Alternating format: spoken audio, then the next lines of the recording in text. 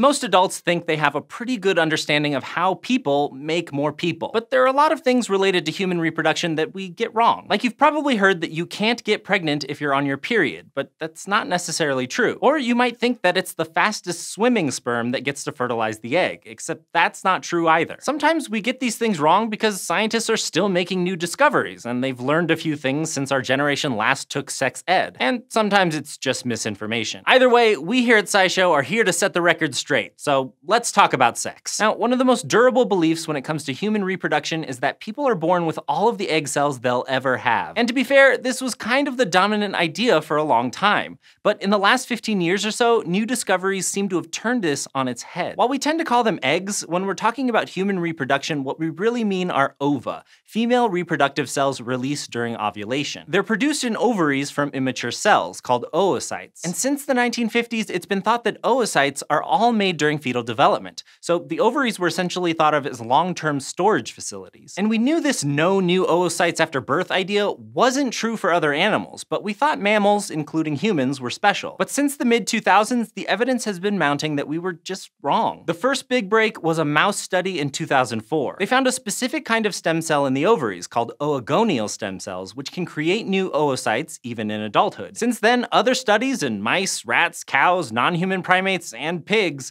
have confirmed that these stem cells can contribute to the pool of eggs used in natural reproductive cycles. And in 2012, we found similar stem cells in people too, as well as evidence that the human versions can produce oocytes. So although we have yet to definitively demonstrate that these stem cells make new eggs in adult humans, that they do in other animals and their existence in people suggests that in the end, humans may be able to make new eggs during their lifetime. This is a good example of science correcting itself, but it's also cool because this discovery could lead to new treatments for infertility. It's possible we could coax these stem cells to make more eggs when we want them to, including outside of the human body, which we've already done in mice. Now, for our next myth, the human menstrual cycle, the cyclical bodily process of preparing for a possible pregnancy, including ovulation and getting a period, is said to be 28 days long, with ovulation occurring two weeks after the last period starts. But that's just an average, and it's not necessarily an accurate one. First off, only about 13% of people actually have 28-day cycles, according to a 2019 study of over 120,000 users of a menstrual cycle tracking phone app. 65% of the participants had cycles between 25 and 30 days, but overall, the range was huge. And some people had highly variable cycles, where the length was somewhat unpredictable. But more to the point, the researchers also found that the idea that ovulation occurs precisely on day 14 of a cycle wasn't accurate for most of their participants. In fact, the average length of the follicular phase, the first part of the menstrual cycle which starts with menstruation and continues until ovulation, was nearly 17 days. Even for participants with a 25 to 30 day cycle, it was a little over 15 days on average. And this seems to get shorter with age. Participants in their mid-20s had follicular phases that were on average 3.4 days longer than people in their mid-40s. So the actual timing of ovulation was quite variable, both between individuals and within a person's lifetime, even if their cycles were normal. Which kind of leads on to the next myth. You might have heard that you can't get pregnant on your period. So here's the thing. Sperm can survive for days after sex. That's why the fertile window, the time in a person's cycle when they can get pregnant if they have unprotected sex, is generally defined as the day of ovulation plus the five days preceding it. Now, if ovulation does occur precisely two weeks after menstruation starts, then yes, the two to seven days you're on your period falls outside the fertile window. But we just learned that that isn't always the case. Back in 2000, scientists published a paper drawing on data from over 200 women in North Carolina who were trying to plan their pregnancies. The scientists were able to estimate each woman's day of ovulation based on urinary hormone levels. One of the participants ovulated a mere 8 days after her period started and got pregnant. Between 6 and 21 days after their last period started, the women had at a minimum a 10% chance of being in their fertile window. Only about 30% of participants had their fertile window entirely within the days of the menstrual cycle identified by clinical guidelines, which for this group was days 10 to 17. This means that, yes, if your period is less than a week long and you ovulate two or more weeks after it starts, it's not possible to get pregnant by sex during your period. But not only are the lengths of menstrual cycles highly variable, when a person actually ovulates during their cycle varies too.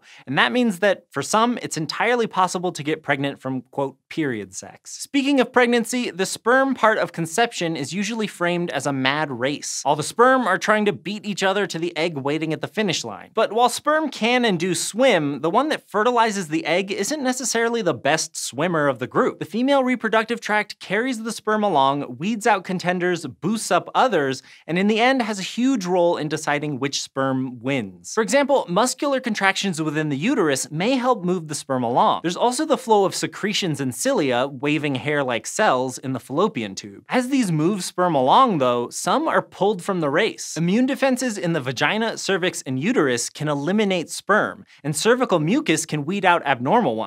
And the sperm that do survive still aren't racing to the finish. When sperm get to the fallopian tube, they may be held or slowed down at a structure called the tubal isthmus. Their interactions with the epithelium, the inner layer of the reproductive tract, can either hyperactivate the sperm and prepare them for fertilization if the egg is ready to go, or slow the whole process down, preserving them until the time is right. This pause may also prevent the egg from being fertilized by multiple sperm at once by only allowing a few sperm at a time to get close to it. It may even narrow down which particular sperm get to the egg. The fallopian tube seems to be able to separate sperm based on their genetic content, including sex chromosomes or whether they have damaged DNA. So if the fastest sperm doesn't pass this screening check, it's not getting anywhere near an egg. Now, when a sperm finally does reach the egg, it doesn't battle its way in as if it was breaking through a wall. The process of fertilization doesn't rely on brute force, but rather on protein interactions between the sperm and various parts of the egg. So it's more like a complex series of secret handshakes,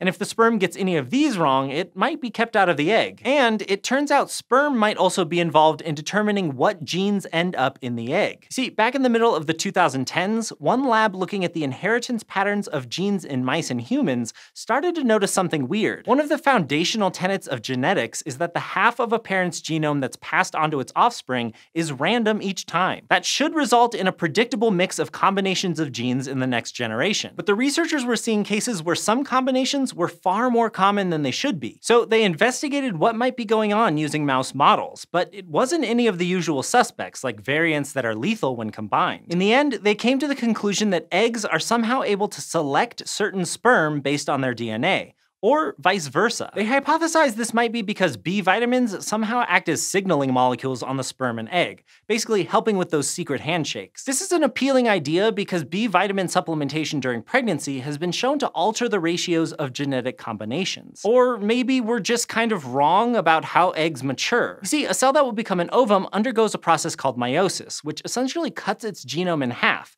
leaving it ready to combine with the half genome the sperm will provide. To do this, the cell first doubles its entire genome, creating copies of each of its 23 pairs of chromosomes, and then divides into two daughter cells, the copies sticking with their clones. One of these daughter cells is destined to be the egg, and the other one becomes one or two supportive polar bodies whose genes don't end up in the embryo. Then the egg to be splits again, separating the chromosomes from their copies to create cells with one copy of each of the 23 chromosomes. So the order goes first sort the pairs, then split them into single strands. But that last split doesn't happen until after fertilization. The thing is, if the order of divisions is reversed and the clones split into single strands first, you get an egg to be with both variants of the original chromosomes. And that means it's possible signals from sperm could influence the results of that final division, thereby choosing which chromosomes end up in the egg, which could explain the skewed ratios scientists have seen. And this weird reverse meiosis has been seen in humans, though we'll need more research to confirm whether sperm actually have any influence over the last step. In the end, when we look at the most up-to-date science, it's clear that we've been getting a lot of things wrong about human reproduction. The fastest sperm isn't necessarily the one that fertilizes the egg,